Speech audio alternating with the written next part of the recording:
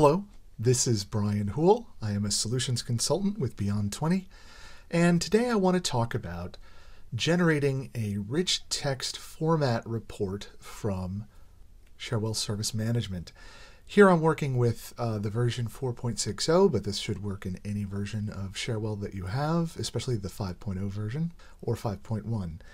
Now, the reason why I'm going to do uh, this report in the way that I'm going to do it is it seems that the uh, Cherwell report designer has a hard time capturing the formatting from rich text fields, and you can define text fields in Cherwell as rich text uh, fields, and that allows you to put formatting into it like tables or boldface or images, things that um, you might do in Word, uh, you can do in the rich text format for the most part. Um, however, if we uh, were to generate a, a report and say uh, save it out as a PDF file, the formatting in rich text fields does not appear on reports generated through the report manager.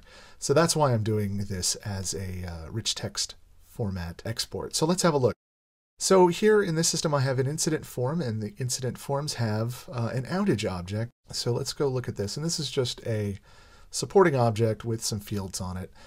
Um, so we have an executive summary session uh, section and a technical summary section and each of these is filled out and uh, I have a rich text zoom here and uh, if we go down to this uh, bottom part I have a table here that I, I want to keep that formatting in. So what happens if, if I open this as a PDF, and here I'm just generating a report as a PDF, and you scroll down, and it looks okay.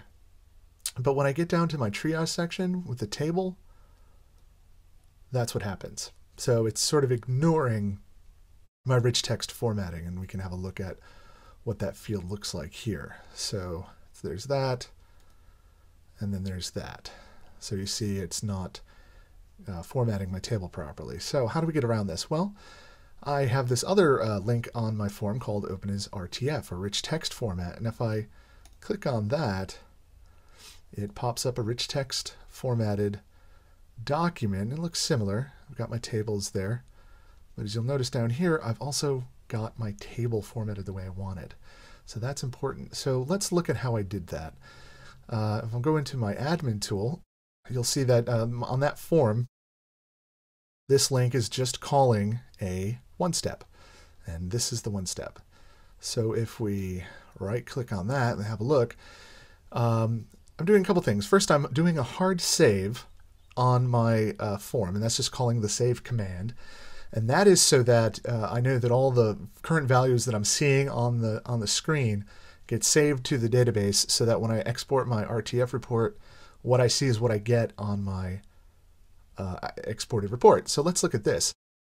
Now this is a write to a file step, and I've named it export RTF report. So let's look at that. And what I can do is I can go into my Zoom here, and I can just fill this out as I like. I can format it, and then I can insert my fields by right-clicking and selecting my fields. And this really is what you see is what you get. So I design that as I like. I click OK.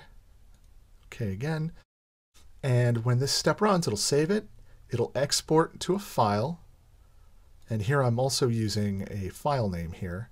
If you right click and scroll down to file names, you can define you can define a uh, temp file that you can then call from other steps.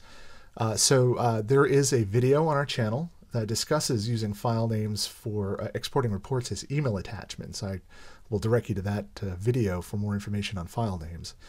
And so finally, I'm going to open my outage report. Um, and what this does is it will just trigger whatever application handles that file type to open the file on the client system. And uh, so we edit this. Here I'm calling my outage report file name that I've defined in previous steps. And I'm pretty much taking the default options here. And that's all there is to it. So the next time that I go back to my form, I create a link that calls the one step and it puts all my rich text formatting on here. And now I can uh, save this as a Word document. I can uh, export it from Word to Adobe PDF and I'm good to go.